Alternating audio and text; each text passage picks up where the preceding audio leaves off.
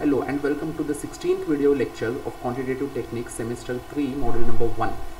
In this video lecture we would be uh, solving one more problem on Spearman's coefficient of rank correlation.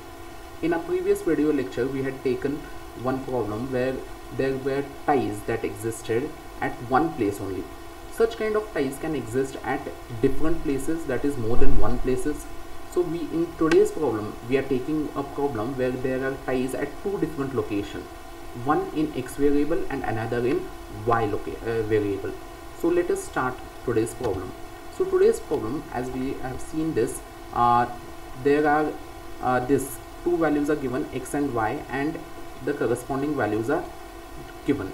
Now if we see this uh, problem and try to give them ranks. The first rank will go for this person second rank will go for this person third rank will go for this person fourth rank will go for i think this person. Yes. Fifth rank there is a tie no fifth rank is for this person. For sixth and seventh that is sixth seventh and eighth there is a tie. So sixth seventh and eighth there is a tie so the average rank that will be giving 6 plus 7 plus 8 divided by how many numbers are there? 3 so it is nothing but 7 okay? So the rank that we are giving is 7 7 7 right? And now uh, below if we see the first rank will be for this person second rank will be for this person third rank fourth rank fifth rank sorry there is a tie here. Sorry sorry sorry. There is a tie here for fourth and fifth rank. So fourth and fifth rank there is a tie. The next rank is rank number 6 and then rank number 7 rank number 8 so there were ties at two locations only. That was rank number 4 and 5 so 4 plus 5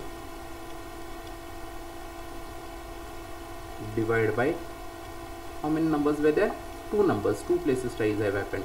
So it is nothing but 4.5 so the average rank we are gonna give is 4.5 you can give it in decimal numbers also. That is allowed so here also 4.5 rank.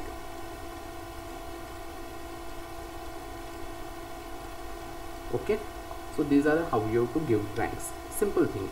You can give ranks in decimal numbers also. Though it does not make any sense but for calculation purpose you have to give it in decimals. You have to follow the same uh, rule that is at which all places uh, this ties had existed add up all those places and divide by how many uh, numbers you are there in the numerator. If three ties have happened then three will come in the denominator. If two ties have come then two will come in the denominator.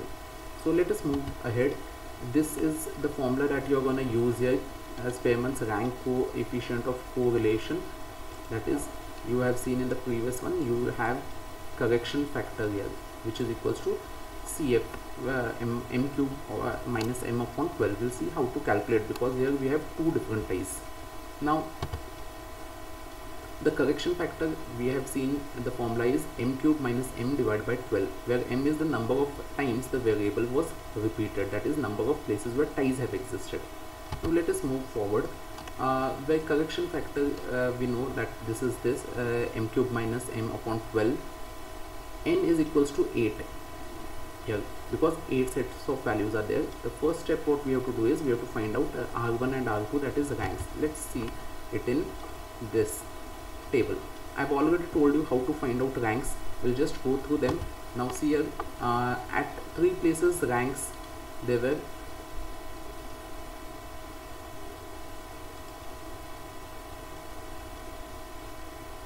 that is at 65 if you see three times 65 is repeated. 1 2 and 3 so an average rank is given by adding up. Had it not been that suppose 1 2 3 4 you are given.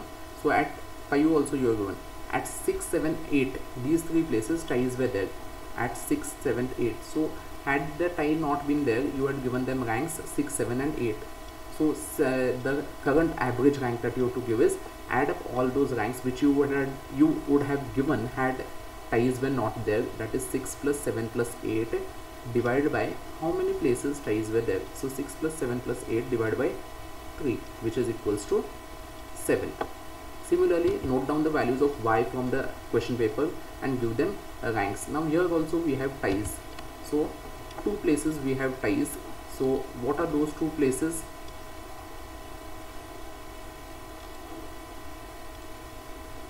Two places we have ties. That is at uh, 13 that is value is 13 here one and here one. And had this not been uh, ties we would have given them fourth and fifth rank. So add those fourth and fifth rank. That is 4 plus 5 divided by 2 why 2 because only two uh, ties were there. Uh, two places ties had happened. Two people are tied. So 4 plus 5 is 9 divided by 2 is 4.5 so the value you are getting is 4.5 now d you know how to find out d uh, that is r1 minus r2 same procedure. Find out d square also. Here in this case minus 0.5 into minus 0.5 minus into minus is plus 0.5 into 0.5 is 0.25 so similarly you will get all those values. Now note down what is the value of summation d square. Summation d square will be uh, you have to add up all d square values and you will get it here down. That is summation d square is 25 okay? Once you get summation d square you have to go towards the formula. What is that formula? Here we have already calculated this. M1 is equals to uh, average rank is 7 and here average rank is 4.5 so the same thing is written here. Average rank is 7 and average rank is 4.5 now correction factor. What is this correction factor? What we are getting? Correction factor is nothing but m1 cube minus m1 divided by 12 but here more than one correction factor is there right? So more than one correction factor means you have to add the second correction factor also plus m2 cube minus m2 upon 12 okay? So what i'm doing basically is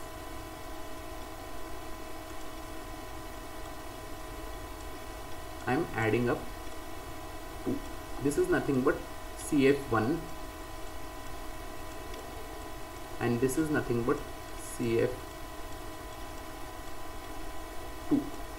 okay? Cf1 and cf2 why cf1 cf2 cf1 belongs to the first place where tie had happened and cf2 belongs to the second place where tie had happened. So your total cf correction factor comes from wherever ties have happened. So your correction factor is nothing but cf1 plus cf2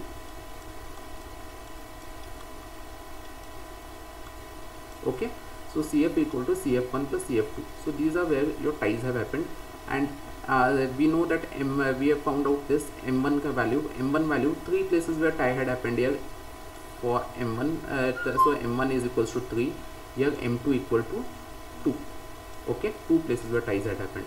So 3 cube minus 3 upon 12 plus 2 cube minus 2 upon 12 so cf is equals to 27 minus 3 upon 12 and this all you will get when you will calculate if you are not getting you can uh, check in the calculator once more. Okay?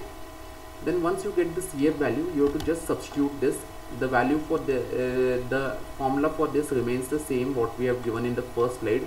It is nothing but 1 minus 6 summation d square plus cf upon n cube minus n. Okay and what is d square? d square summation d square value we have got it as 2.5 cf value also we have got it as 2.5 okay?